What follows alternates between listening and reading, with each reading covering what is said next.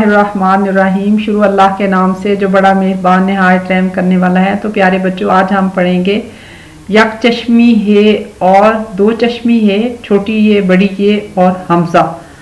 दो चश्मी है, जो है ये शुरू में मोटा इसको पढ़ा जाता है। जैसे हाथ जो है वो दो चश्मी है से भी लिखा जा सकता है और यक चश्मी है से भी। अल्लाह ताला ने हमें दो हाथ दिए हैं।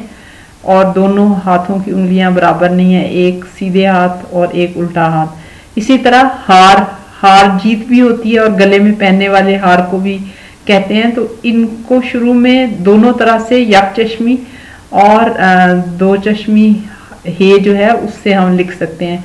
लेकिन फल में फ भारी लफ्ज है, लेकिन पहल, यक चश्मी है जब बीच में आती है तो बारीक पड़ी जाती है, जैसे फल और पहल, जहाँ यक चश्मी होगी, पहल पड़ेंगे। जैसे बहार यक चश्मी है और उभार, भ, भारी आवाज़ बन जाता है। तो जब दरमियान में आती है तो बारीक आवाज़ के लिए यक चश्मी ये लिखते हैं, मोटी आवाज़ के लिए दो चश्मी ये लिखते हैं। इसी तरह जब छोटी ये और बड़ी ये से कोई लफ्ज शुरू होता है तो उसके नीचे दो नुक्ते ये के लिए डाले जाते हैं, जैसे यक्का। ये से यक्का।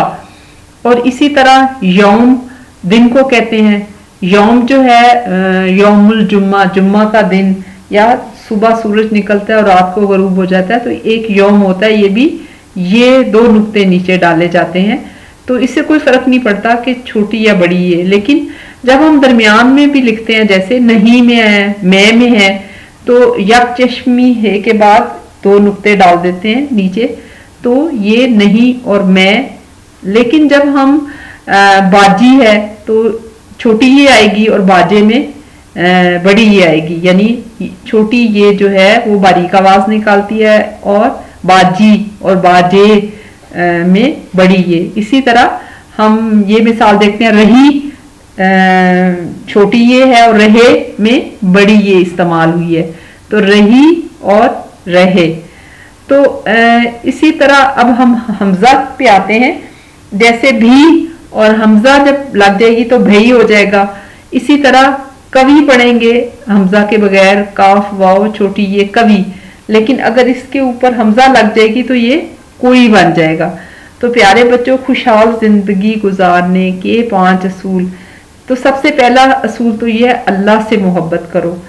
आ, हमेशा अच्छाई करो हमेशा माफ़ करना सीखो हमेशा पुर उम्मीद रहना सीखो। और किसी को नुकसान ना पहुंचाओ। अब अल्लाह से हम किसी से मोहब्बत तभी कर सकते हैं जब उसे जानते हो, आप अपने माँ बाप से मोहब्बत करते हैं कि माँ बाप पालते, पोसते हैं, पैसे खर्च करते हैं। तो अल्लाह को जानने के लिए पहचानना ज़रूरी है। हसरत अवैस करनी का एक कौल है कि जिसने खुदा को पहचान लिया उससे कोई चीज़ छुपी नहीं रह सकती। तो खुदा को पहचानने का एक ही ज़रिया है। वो अल्लाह की किताब है। अल्लाह ने अपनी किताब में, अपने बारे में बताया है। तो हम अल्लाह के बताने में ही अल्लाह को जान सकते हैं। जब अल्लाह को जानते हैं तो फिर हमें अपनी हैसियत का भी पता चलता है कि अल्लाह की इस कायनात में मेरी हैसियत क्या है। तो आज से कुरान की तर्जुमे से पढ़ना शुरू करें और इस दुआ के साथ अपना सबक ख़त्म करते हैं। ए रब आज के मुसलमान को हज़रत अबू बकर जैसी सदाकत, हज़रत उमर जैसी अदल की सलाहियत, हज़रत उस्मान जैसी शर्म, हया और हज़रत अली जैसी वावदी अता फरमा, आमीन।